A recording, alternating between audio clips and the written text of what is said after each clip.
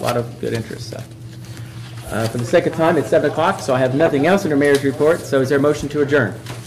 Motion. Motion made by Brian, is there a second? Second. Second by Larry, all those in favor signify by saying aye. Aye. Opposed?